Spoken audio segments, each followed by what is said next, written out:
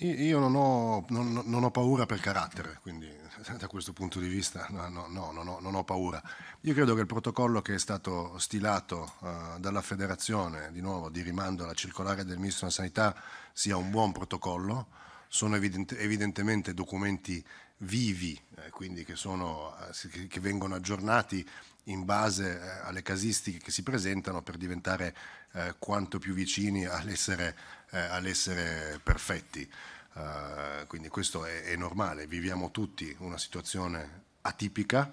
uh, stiamo gestendo uh, non un campionato di calcio, ma stiamo gestendo la vita sociale nel suo contesto più ampio, ogni industria, ogni, ogni industria, la manifatturiera, i servizi, l'intrattenimento, con la gestione eh, di una pandemia e dobbiamo evidentemente fare il meglio possibile. Quanto è stato fatto fino a qua dalla federazione da un lato e per quello che ho visto io dall'UEFA eh, per quanto riguarda le competizioni internazionali è un lavoro egregio che mi lascia eh, veramente sereno sul fatto di poter completare eh, la competizione eh, da qui eh, alla fine, fine dell'anno.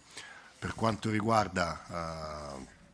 le norme sportive invece sono altrettanto chiare, le norme sportive dicono che se una squadra non si presenta eh, va incontro a delle sanzioni eh, disciplinari. Quindi eh, da, sotto questo punto di vista il giudice sportivo si esprimerà eh, domani e, e, da lì scaturiranno oh, ulteriori riflessioni in base a quelle che saranno in base a quella che sarà uh, la decisione del giudice sportivo. Non era ieri che mi sono sentito con De Laurentiis, quindi questo lo sottolineo, ma era un paio di giorni fa, due o tre giorni fa, uh, e la mia risposta è stata molto breve, eh, io mi attengo ai regolamenti eh, che ci vengono dati io mi sarei comportato esattamente come ci siamo comportati, ovvero attenendoci al protocollo della federazione che è, stat che è stato scritto di rimando a una circolare del Ministro della Sanità. Uh, quindi io mi sarei comportato uh, in quel modo lì uh, e non ho motivo per pensare che non, non, si, non, sia stato fatto, quindi sicuramente ci sarà spazio per una revisione, come dicevo prima, di un documento vivo. Per quanto riguarda il resto della domanda è evidentemente è, è prematura uh,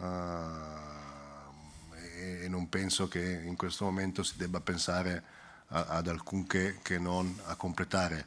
uh, il campionato semplicemente tutti quanti assieme rispettando le indicazioni che ci sono date dalle autorità competenti, nel nostro caso la federazione di, di concerto con il Ministero della Sanità.